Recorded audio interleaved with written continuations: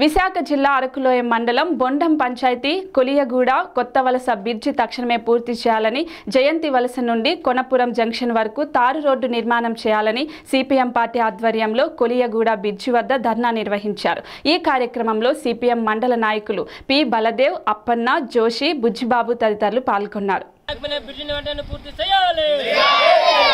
మధ్యలో ఆగిపోయిన బ్రిడ్జి వెంటనే పూర్తి చేయాలి. మధ్యలో ఆగిపోయిన బ్రిడ్జి వెంటనే పూర్తి చేయాలి మండం పంచాయతీ కొల్యాగూడలో ఉన్న బ్రిడ్జి వెంటనే పూర్తి చేయాలి కొల్యాగూడలో ఆగిపోయిన బ్రిడ్జి వెంటనే పూర్తి చేయాలి. మండం పంచాయతీ కొల్యాగూడలో నిర్మిస్తున్న బ్రిడ్జి వెంటనే పూర్తి చేయాలి. బ్రిడ్జి పూర్తి చేయాలి. కొత్త తార్ రోడ్ నిర్మాణం చేయాలి. కొత్త తార్ రోడ్ నిర్మాణం పూర్తి చేయాలి.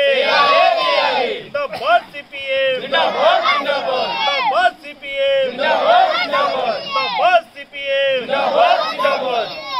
సంబంధించి బొండం పంచాయతీ కొన్ని గ్రామాలు లోతర్ పంచాయతీ గ్రామాలు అలాగే అనంతగిరి మండలంలో కోనపురం పంచాయతీలో ఉన్నటువంటి గ్రామాలు అనేక గ్రామాల్లో ఈ రాకపోకలను చాలా ఇబ్బంది గురవుతున్నారు. కనీసం అనారోగ్యం చేస్తే ఒక వన్ నాట్ ఎయిట్ కానీ అంబులెన్స్ కానీ రాని పరిస్థితి ఈరోజు ఉంది. కాబట్టి తక్షణమే ఈ బ్రిడ్జి పూర్తి చేయాలని చెప్పేసని ఈ సందర్భంగా సిపిఎం పార్టీ డిమాండ్ చేస్తుంది. అంతేకాదు గుత్తేదారు సంబంధించి ఈ నాణ్యంగా ఈ బ్రిడ్జి నిర్మాణం చేయాలి. తక్షణమే పూర్తి చేయాలి. నిధులు ఆఫీసర్ అనే సాకుతోటి ఇప్పుడు వర్షాకాలం సాకుతోటి అలాగే కరోనా పేరుతోటి ఈ పనులు ఆపేయడం వల్ల ఈ బ్రిడ్జి పనులు ఆగిపోయింది.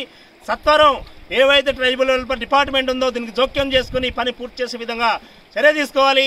అలాగే వేలి మండలం Bondam panchayati Karakavalasa railway station junction నుండి కొత్త వలస వరకు తార్ రోడ్ నిర్మాణం చేయాలని అలాగే ఈ కొలియాగూడ బ్రిడ్జి పూర్తి చేయాలని చెప్పేసి సిపిఎం పార్టీ ఆధ్వర్యంలో ఈరోజు ఈ బ్రిడ్జి దగ్గర ధర్నా నిరసన కార్యక్రమం నిర్వహించడం జరుగుతుంది.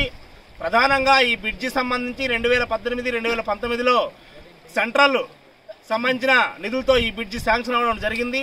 దీనికి టెండర్ పాడి కాంట్రాక్ట్ పని ప్రారంభించారు. ఈ మధ్యలో ఈ పని ఆపేయడంతో ఈ బ్రిడ్జి నిర్మాణం జరగ